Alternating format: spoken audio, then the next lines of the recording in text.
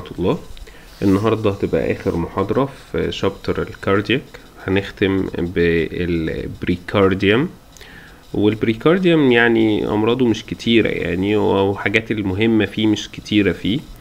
أهمهم طبعا ال constrictive pericarditis ديت الأسباب بتاعتها في الأغلب على حسب المكان يعني الشخص ده موجود فيه.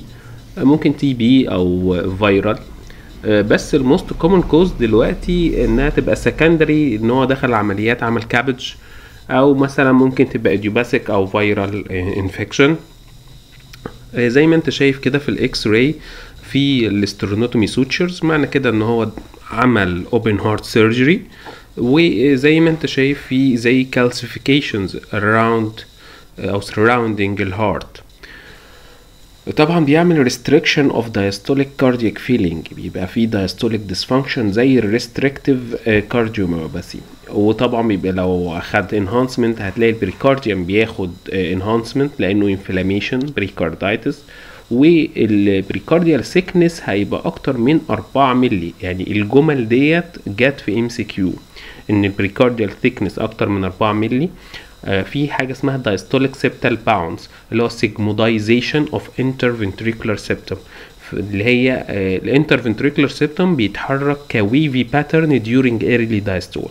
يعني ال interventricular septum بيتحرك wavy pattern زي ما انت شايف كده بيتحرك wavy pattern ال ventricular inter interdependence اللي هو نفس ال نفس الحاجة بس في ال MRI cine image اسمها برضو ventricular interdependence.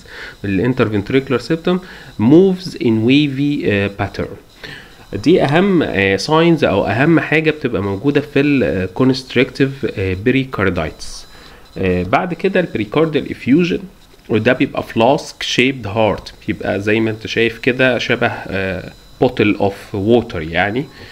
ان ال pericardial effusion parietal fibrous layer أو visceral serous layer اللي هما ال layers of ال pericardium هيبقى هو double walled layer تمام.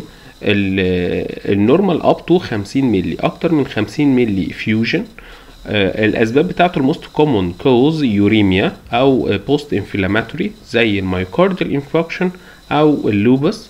بيبقى flask shaped heart وبيبقى Oreo cookie sign اللي هي في ال lateral chest view لو تفتكروا معانا تقريبا قلناها في ال CT وال X-ray signs في أول أو تاني محاضرة في ال chest في ال lateral chest بيبقى في Oreo cookie sign اللي هو ال fat بتاعت ال pericardium وال fat بتاعت ال retrosternal وما بينهم ال fluid اللي هو ال effusion يعني.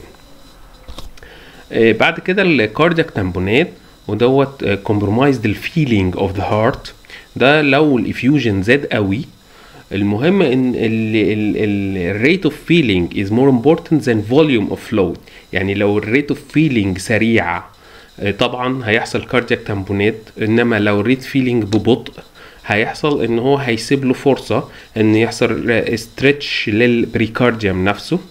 ده بيبقى فيه flattened أو inversion of interventricular septum towards left ventricle.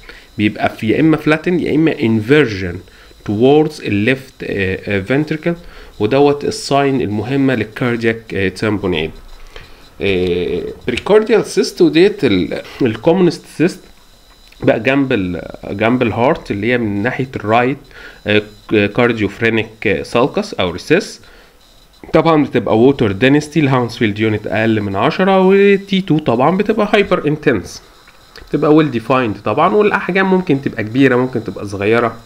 whatever يعني. آه آخر حاجة معانا ال congenital أو acquired absence of pericardium وال most common parietal absence of pericardium over left atrium and adjacent pulmonary artery. يعني الابسنس للبريكارديوم عند الليفت اتريوم والادجاسنت pulmonary artery. طبعا ال left بيعمل cardiac shifting to the left. يعني لو ال left atrium absent بيبقى ال card أو ال heart shifting to the left side. ال left atrial appendage most طبعا بيبقى في الحالة ديت ان هو most at risk of strangulation. يعني هي معلومة هي ما اتذكرتش كتير بس هي معلومة. وبيبقى عندك ال interposition لل lung tissue between aorta and pulmonary artery.